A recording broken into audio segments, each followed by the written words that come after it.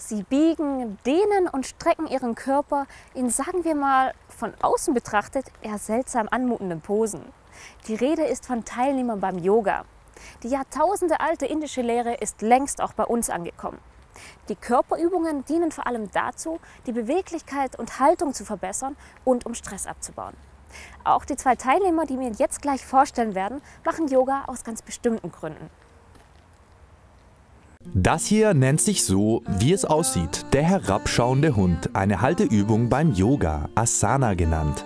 Es ist Freitagabend. Wir sind heute beim Yoga-Unterricht in Ravensburg und wollen wissen, was hat in diesem Fall der Hund eigentlich mit Bluthochdruck und Stressabbau zu tun. Dazu treffen wir uns vorab mit zwei Teilnehmern, Ursula Belli-Schilling und Daniel Milz.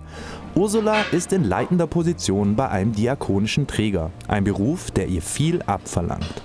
Die Tätigkeit von mir ist sehr interessant, macht mir sehr viel Spaß, aber die ist natürlich auch sehr anspruchsvoll.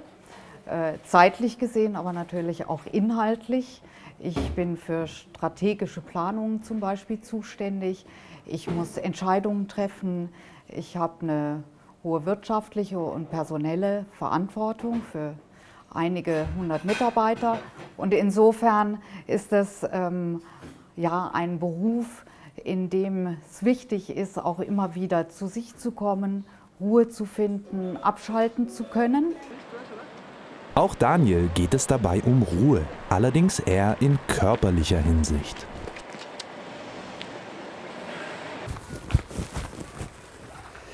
Ich habe Yoga für mich entdeckt, weil ich ähm, vom Prinzip her einen relativ hohen Blutdruck habe. Der ist auch genetisch bedingt, weil mein Cholesterinspiegel etwas hoch ist.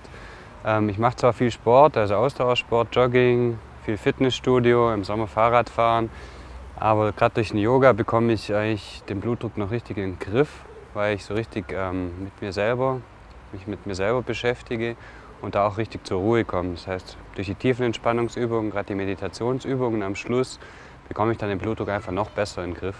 Zurück zum Hund. Diese Asana steht beispielhaft für viele und verdeutlicht, um was es bei der praktischen Ausführung von Yoga geht. Bewusste Bewegung, bewusst atmen, bewusst meditieren. Durch diese spezielle Kombination entfaltet Yoga seine Wirkung. Das Positive ist, dass Yoga äh, aufs ganze Prinzip wirkt. Ja, dass wir zum einen den Körper natürlich bewegen in einem dynamischen Yoga und geschmeidig und flexibel und kraftvoll halten. Und zum anderen ähm, haben wir auch auf Körper und Geist äh, Einwirkungen. Also wir haben den beruhigenden, das beruhigende Element. Zahlreiche Studien bestätigen inzwischen, dass Yoga Blutdruck und Blutzuckerwerte senkt, Rückenprobleme verbessert, Schmerzen lindert und allgemein wohltuend auf die Psyche wirkt. Die Übungen wechseln ab zwischen Anspannung und Entspannung. Die Lehrerin leitet die Teilnehmer an, prüft die richtige Ausführung. Demütig sein, komm, gib alles.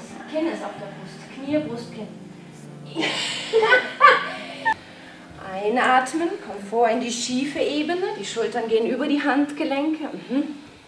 Schultern ziehen zurück, Nabel hält auf.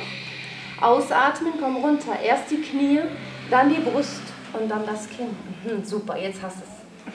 Einatmen, schlänge dich nach vorne und nach oben. Schambein liegt auf der Matte ab, Herz macht auf, super.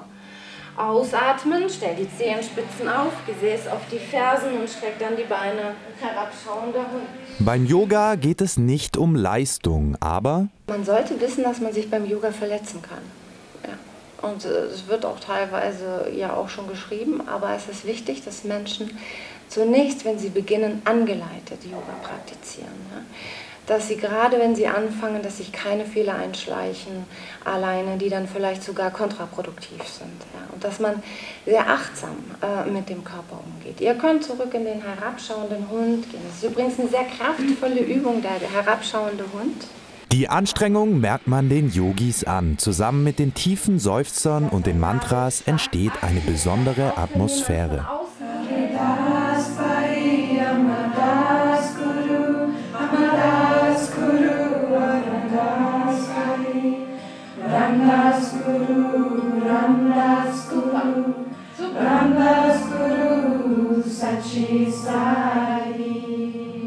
Nach über einer Stunde begeben sich die erschöpften Teilnehmer in die Ruhehaltung, genannt Shavasana.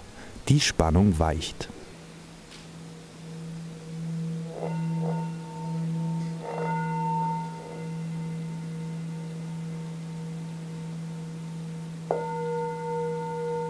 Und so haben Ursula und Daniel den Unterricht erlebt. Ja, also man hat das Gefühl, man hat sich jetzt ausgepowert, hat seinen Sport gemacht, aber trotzdem am Schluss die Entspannung gehabt in der Meditationsübung. Und ja, also ich bin völlig runtergekommen, völlig relaxed und in dem Fall kann es ins Wochenende gehen. Ja, ich fühle mich auch sehr entspannt, fühle mich richtig wohl und habe auch das Gefühl, jetzt bin ich wieder bei mir. Also manchmal geht es mir so, dass ich denke, äh, ich habe mich verloren, ich weiß gar nicht, wo mir der Kopf steht. Und jetzt habe ich wieder das Gefühl, durch diese Konzentration, Atemübungen und körperliche Übungen bin ich wieder ganz bei mir angekommen. Ob es nun darum geht, den Blutdruck zu senken oder die innere Ruhe zu finden, Yoga vereinigt Körper, Geist und Seele. Ramdas Guru, Ramdas Guru, Ramdas Guru, Sachi Sai.